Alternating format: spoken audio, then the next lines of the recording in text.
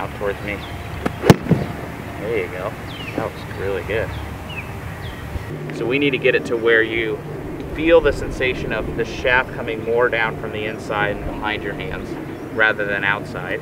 And then teach you how to properly release and square the club rather than going here, pulling in and like getting jammed out. Does that make sense?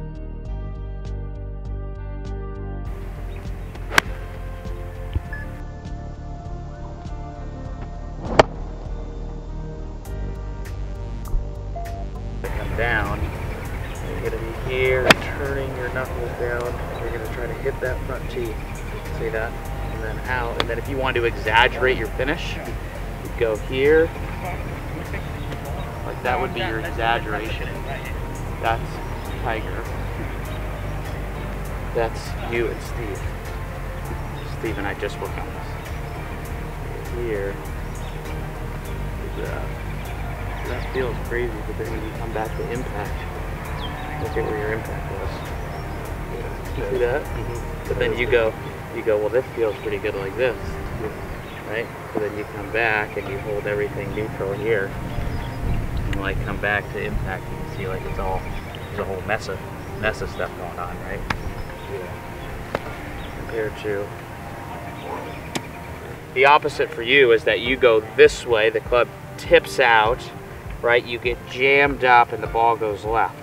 So the opposite would be from the inside with tons of lean and you hit like a really, really low push draw, which has the shaft like this, and then we start to dial off of that because you got like too much of a good thing. It's like someone saying, hey man, you got like 3% body fat. You need it like, you need to eat more cheeseburgers. We started the hour with hitting impact bags. Then we came here and we did noodles with this and made the ball curve. Now we're at 50 minutes through the hour. You're then we move it and you hit the best shot of your life. But just, it's, it's going to be hard to change. If it, if you're like Every normal, what would happen is you would hit it yeah, and, and how I I you would probably hit about four really, really good ones. actually think it's the quality And then it'll start to degress a smidge because you'll lose the feeling of what you're doing. It's a waste of time. And then what ends up happening is the guy gets frustrated and goes, and they keep trying harder and trying harder. It's at that moment that you then restart the cycle. You go back to the bag, back to the noodle, hit for 20, 30 minutes, then introduce balls, right? And what happens is on week one, you can do six without losing form. Then on week two, you can do 15. Then week three, and then it, it starts to go from like these block practice and performance practice to then kind of tipping the scale like this. But what ends up happening is most players do the block practice and they get the feeling for 10, 10 balls. They go, I got it, and then they just start hitting. And it's like, well, what, what are we doing now? So if you're hitting it bad, just go back to the block because you kind of can't hit it bad in the block practice. That's why you're doing it.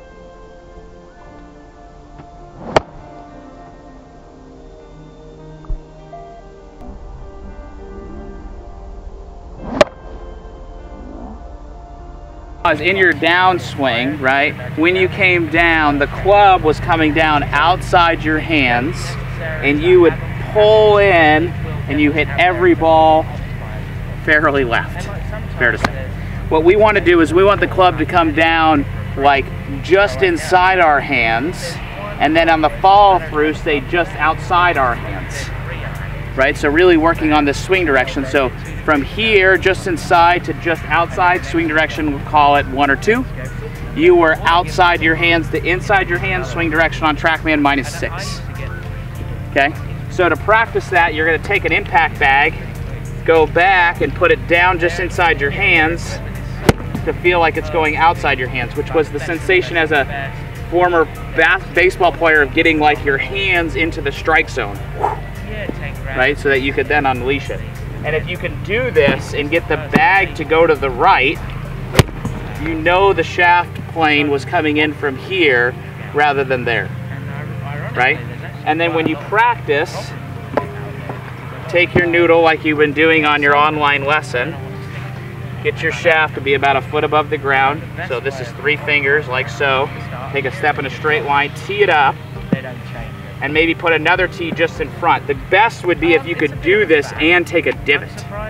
Then you know you're really getting it. Because that means if you can take a divot, you're really releasing this thing into the ground. Rather than kind of, you know, right now the path and face are good, but it's still that the shaft doesn't have enough lean, which will drop the flight because obviously whatever the loft creates height. So the less loft, the lower the ball. So you would set up like this, and I just had this impact bag to make it feel like you weren't trying to pull in.